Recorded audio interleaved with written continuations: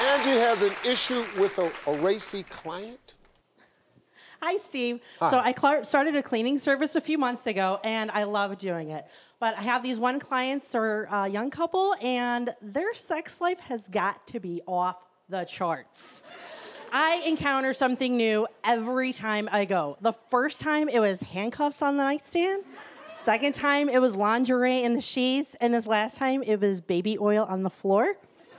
Now, when I find these things, you know, should I just tuck them away or, you know, maybe put them away in a drawer so they don't get embarrassed or, you know, just give them a little friendly reminder next time that maybe they need to clean up their personal items before I come over? Well, if they're gonna clean up the personal life, what they need you for? Listen to me. Do not mess up your job trying to do the most. Just find this stuff and just fold it up on the nightstand. They gonna know you found it.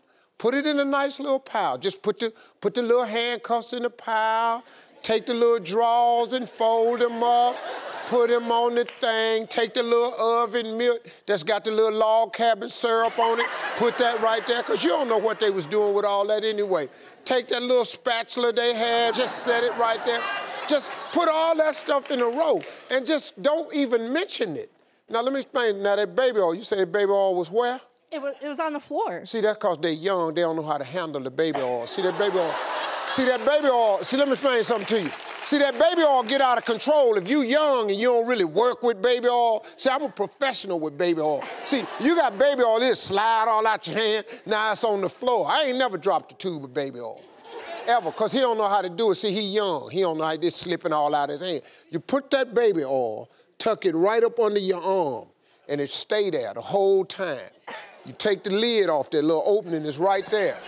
And just that's the, just that little slight motion, right? Just that, just that right there. Just- and if you don't pump it hard, sometimes you just let it, and it just drip down your arm, right into your hand like Spider-Man. See, sometimes I do the slow, slow, and then it drips and it's right there. And once it hit that, it's just work. Then you just smack it like that, and just smack it. It's a little splash sound.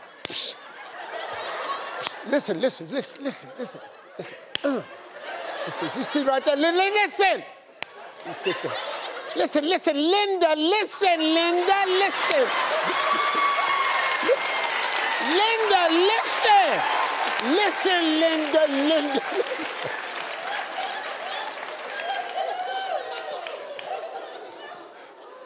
Have you seen that little boy on YouTube talking to his mother? That's my favorite video. Because you know what that is? That little boy is just imitating his father. His father can't get a word in edgewise. He done stood there and he done watched his daddy, so now his mama told him what to do, and he turned right around. Listen, Linda, listen, you know, listen to me, Linda. You know, listen.